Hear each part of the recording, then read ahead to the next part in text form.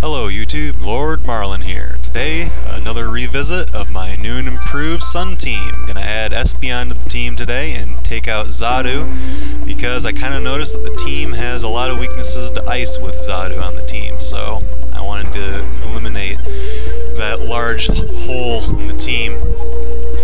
Noticing that there are two OU Dragons on his team, Dragonite and Garchomp, so that's going to require Heatran to take care of them.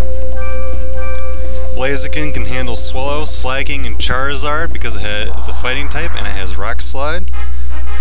And Espeon and Tropius just don't really have any roles to fill. There's no water types on his team and there's no fighting types, so let's see how it goes. Alright, Swellow and Garchomp. Of course, Swellow is going to protect. Anybody who's using a Swellow is going to be using probably either a Toxic Orb or a Flame Orb to get Facade to work so I'm not even going to bother targeting his Swellow, but that Garchomp is absolutely dangerous now with that Swords Dance. Gotta take him down immediately. Dang, Seed Bomb dealt a lot of damage to Garchomp. I was not expecting that, even being neutral damage like that. That's just crazy. Gastro Acid, and I'm pretty darn confident that return is going to be taking down that Garchomp without any problems.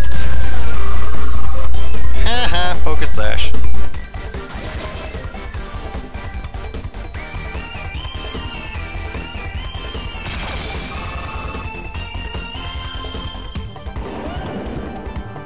Oh yeah, big hit.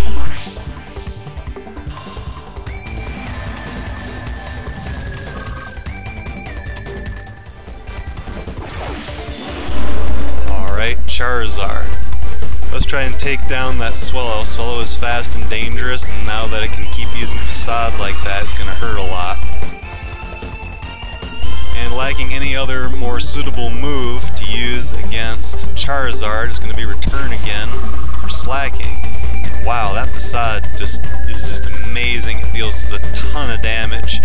Slaking has really good defenses too. Oh darn, take down Charizard, and he had a Pedia Berry. Oh, he's using Flamethrower. Slaking. With this sunny day, there's no way that Slaking is going to be able to survive that. But in a double battle, I'm surprised he didn't have Heat Wave on his Charizard. So, what do you think? In a double battle, should every Pokemon get rid of Flamethrower and substitute it with Heat Wave? That's kind of what I've done with this team. Now his HP is so low that no matter what I throw at him, either of these Pokemon are just going to go down in one hit, basically. So, Sucker Punch, yeah, no-brainer there. Bye-bye Swellow. Charizard is using Substitute.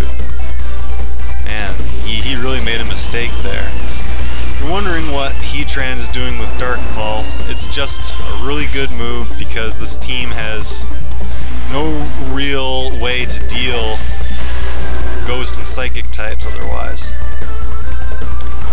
And Dragonite, nice. I get the whale on an overused dragon.